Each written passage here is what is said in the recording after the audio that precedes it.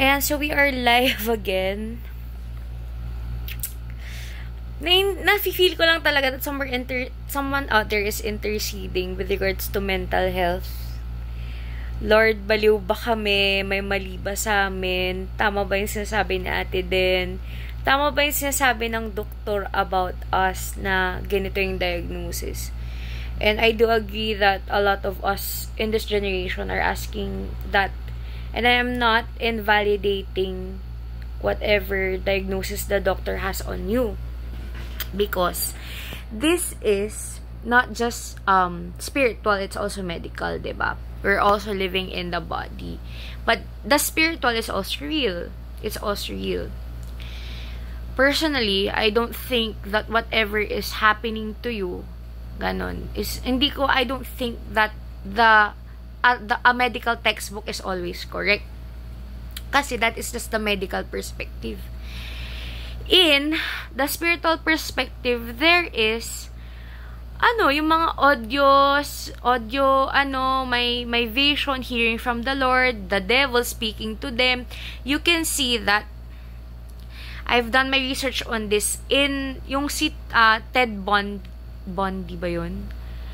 Yung serial killer sa ano, Amerika, siya na mismo yung nagsabi, the devil is talking to me. Sabi niya. May mga ganun pa eh, sa ano, yung, ano ba yung Satanist worshipper, ganyan, the devil is talking to me. Na-research ko yun eh, kasi pinapanood ko sa YouTube. And ako din, na-experience ko din na may mga times din talaga to, in recognizing God's voice, you can also recognize the voice of the enemy. To be, to be fair, to be fair, hmm? I am not saying that whatever diagnosis to you, na said to you was wrong. I'm just saying that we should also acknowledge the spiritual side. Because it's not always about the body, about the health. Um, I feel like some of you here who's watching, I want to tell you that you are not crazy. That you are hearing those things. That you are seeing those things. You just can't explain them. What are these? Are this? Is this a sickness? I don't think so. I don't think that I don't think na medical lang. Kasi it's also spiritual. Maybe the Lord is showing something to you. Daniel, are these delusions? My goodness, are those delusions? We do not medicate the demon inside of you. For me lang, my opinion, whoever is this I'm talking to, sleep, apnea, ano pa ba, um, ano ba to? Ba't di ako makatulog? Insomnia? Ano ba to? Hindi ko ma-explain So, as someone, as an ate who have been there, who have explored also the medical side of these things, kasi parang may times na, ano ba yun? Sige, explain ko na lang. Nung ano, nung college, buhay ko na talaga yung mundo. Buhay ko na talaga. nung college, um, I exercised my faith on something. I thought that something was going to happen already kasi I placed my faith on that. That was misconception pala kasi I assumed that it was God who was speaking because all the signs were there. Pero wala naman siyang word over the situation. He just answered my prayer na, ano, ito, sige, kunin mo, parang ganun. Pero hindi niya sinabi na, eto na yon Parang ganun. Walang, walang word. Pero I let my faith, I exercise my faith. So, nung time na yon sabi ko, parang, na, ang labo kasi, paano ba yan? Wait lang. Wait. Um, paano ko ba to sasabihin, Lord?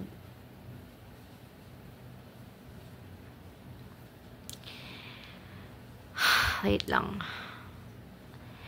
Ayun. So, faith.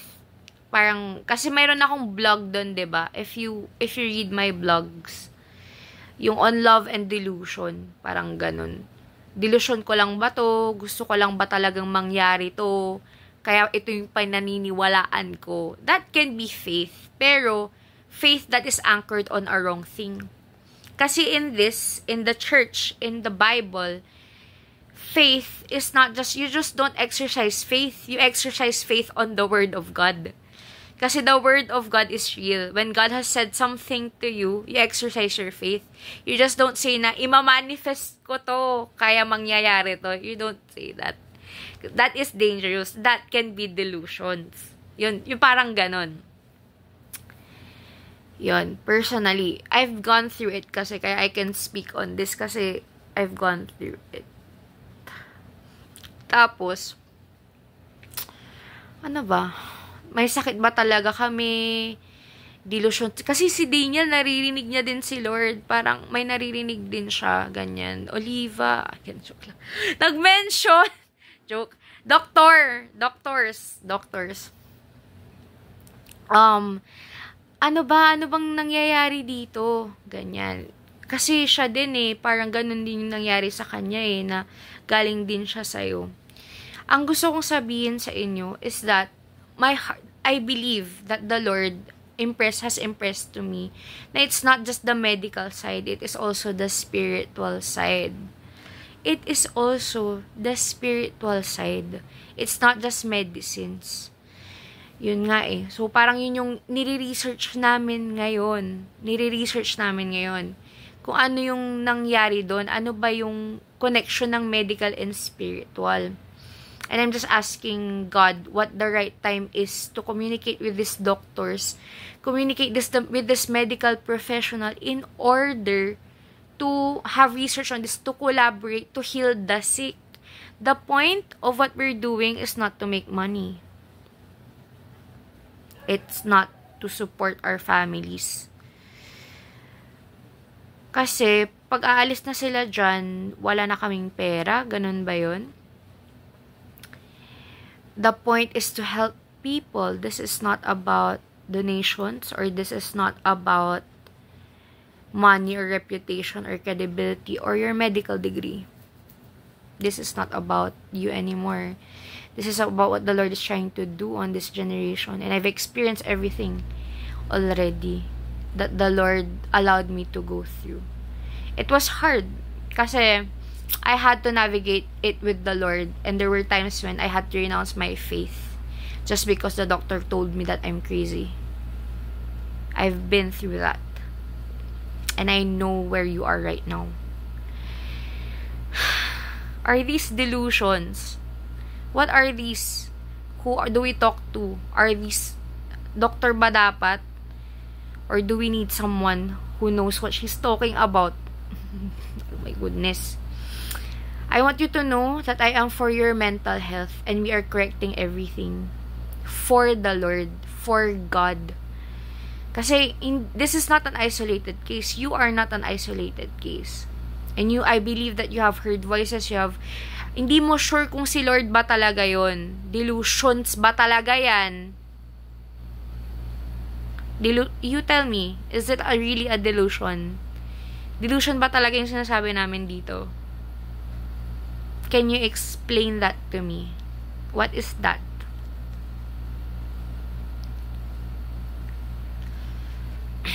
Okay. So, we have also intercessions um, in the body of Christ, malala ang intercessions minsan. We feel the heart of, the, we feel God's heart about people. Sometimes we discern, we have spiritual gifts, discerning of the spirits. Ano pa ba? Discerning of the spirits is a spiritual gift. Spiritual. Um, discerning of the spirits. Ano pa ba? Wisdom. Ano pa? It's all written in the word of the Lord. And it is true. It is coming to pass. What is that? Can you explain that to me? Are those delusions? We pray to the Lord to bring clarity over the situation.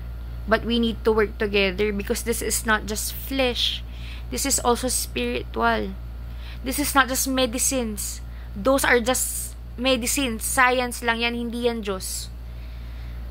Hindi yan Diyos. Science and faith should cooperate. It's not science or faith. That's wrong. I don't think that's right. whoever is watching this, I know that you have a heart for the Lord and I know that you you want to heal people. Um, I want you to know na alam mo God is also for you. God is also for you. And He wants to bring that healing ministry up to a brand new level. Okay. Brand new level. So, I want you to know that God is for you and that this is intercession din. Minsan malala din yung intercession namin kasi talagang God would allow us to see to see clearly kung ano ba talaga yung problema Is it health? Is it mental health? Or is it something spiritual na hindi niya ma-explain? Ang heavy ng feeling ko. Bakit heavy yung feeling ko? Na-explain niyo ba yon? Kasi ako minsan pag, ano, nakakasense kasi ako ng demonic demonic attacks. Nasi-sense ko, natitest ko yung spirit, kung if it's Holy Spirit or not Holy Spirit eh. That's why, I read the Bible. Kasi, ako mismo, God speaks through the Bible. It's not delusions. It helps me sleep at night. When, pag magba-Bible read ako. Kasi napapakalma ako ni Lord eh. Napapakalma ako ng word ni God, ng Holy Spirit. Napapakalma ako ni Lord. As in, kalma, ganun. Kasi talagang minsan even my emotions, ang malala talaga. Kasi when, when these revelations, revelations, not just revelation in terms of like Holy Spirit eh, pero sometimes demonic revelation sa dream. You, nafi-fear ka, it affects your emotions, ba diba? They're overwhelming. Lalo na when you see something wrong, even in the church, there's something wrong. Hindi lang yan sa Senate or hindi lang yan sa barangay namin, ganyan. Everywhere, it's an attack. It's something that is happening on earth So, kami na gifted in this way, prophetic, prophets, nadidiscern namin yung mga ganyan. And ako personally, yung mga attacks, yung mga ganyan, mga tao, ganyan, naiinis ka, ba't ganyan? It overwhelms my emotions. Minsan hindi napoprotect yung emotions ko kasi alam mo eh, na alam mo yung heart ni Lord for that person and alam mo bakit mali yung nangyari sa kanya? Kasi ganito yung nangyari. ba? Diba? We know those things. We empathize with them. And it's hard. It's hard as being in a position like this na you lead people to the Lord but you have to help fix what is broken here. You have to counsel them. You have to guide them. That's hard. That takes courage. That takes discipline, self-control. Sometimes, nabibisit na lang talaga ako, alam mo yun, sa mga nangyayari talaga. Kasi hindi nga tama yung yun, hindi tama siya.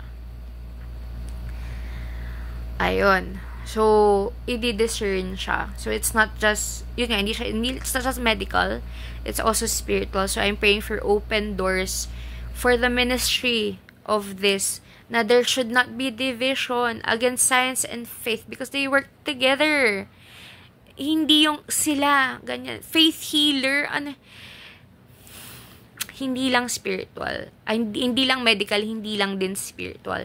We have to work together for this to discern what is going on. I personally, yun nga, I have mental, minsan may mental health, ano din ako, may mental health concern din ako. Ganyan, share ko na. Pero, alam mo yun, I try to take it I try to discern what God's will over that concern is. And I'm gonna I'm not gonna say it anymore kasi people might use it against me. Right? People might use it against me. That's not right. So, ako, sometimes may mental health concern din ako, ganyan, na anxiety, kung ano man. So, I try to discern it. Lord, what is your way? Do I take the meds today? What meds should I take? Ganyan. Kasi ako din, kahit na may ganito akong concern, meron din akong, I am also in this office. I am also, it is fivefold. And malinaw na yon sa akin. At least sa akin, malinaw. Kasi people madalas, hindi sila convinced na prophetic, prophet ba yan? Baka baliw lang yan. Kala mo, hindi ko alam. Baka baliw lang yan, naglalakad sa ano. So, ako naman, personally, I really don't care about you. about what you think because you're not always correct. People have so many opinions in this world, but none of them really matter, right? What the Lord is saying to you, that's what matters. What He has said over your life, that your life is valuable and He sees you. That is truth. Men may condition ka man o wala. My goodness, tong henerasyon na to. Bakit kayo ganito dito? You condemn those mental health, ano, yung mga taong may condition na ganyan. Itao lang din naman sila. Ano? Sino ba tong mga to? Hindi yan godly. May batas na nga for that, pero hindi mo pa rin kamukha si Lord. Bakit? ba diba? Nabuli sa church kasi may ano? Do you look like Christ? An sayang siya. Ano yung sayang doon? Di ko nag-gets. Hindi mo kamukha si Lord. please, please respond how Jesus responds. Because this is the epidemic today, mental health. We are to show compassion to these people. We don't try to say na, ah, sayang siya. May sakit siya sa ulo. Bastos ka. Sorry, pero like, that is not godly. That is not Christ-like at all. What are we doing here? That's what? Na-judge mo yung tao. Na-judge mo yung tao kasi may kapansanan siya. Pakinggan natin ulit. Yung tao may sakit. Sisipain mo ba yung tao kasi may sakit siya? Mali tayo dyan. Mali tayo dyan. Hindi ganyan ang kristyano. Am I correct? So, this is Christian living, ha? This is not even revelations. This is character we're talking about. You're gonna tell to that person, ah, baliw ka. Ganon. Do you hear? Do you, can you, can you, can you listen? Can you hear yourself? I hope you don't feel judged by me, ha? Pero this is me speaking out on these injustices, not just in society, but in church. We don't also say to people, ah, pray ka lang, pray ka lang. Faith lang yan. We don't say to people like that. We ask the Lord for direction. Wala ka kasing faith eh, kaya kabaliw. Ganon. Naiintindihan niyo That's so wrong. That is so wrong. What is that? Ngayon, parang Lord, talaga. Ano ba itong mga taong to? Okay. What happened there? What happened there?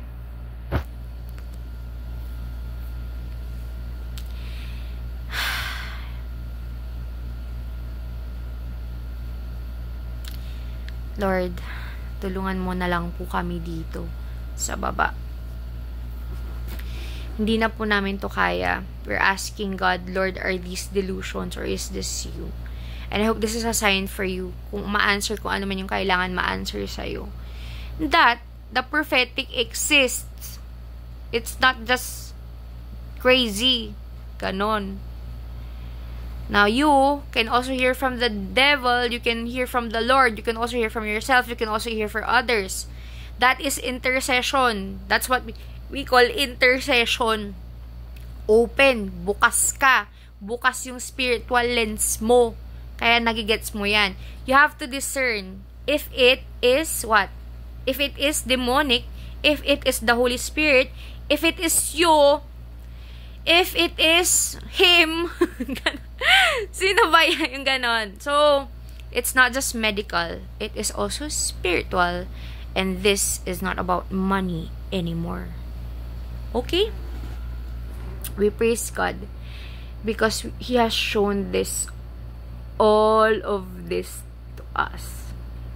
You are not just a patient. You are not just a client. Hindi dapat natin hinuhututan ang mga kliyente natin. Alam mo yon hindi natin dapat hinuhut-hutan. I don't know who I'm speaking to here, ah. I'm general lang. Kasi nakikita namin din, nasa news. Nasa news. Nasa news na may mga cases against doctors because What is that? May mga cases against doctors po corruption about making money na lang. I hear it also around. I am not talking to any, ha?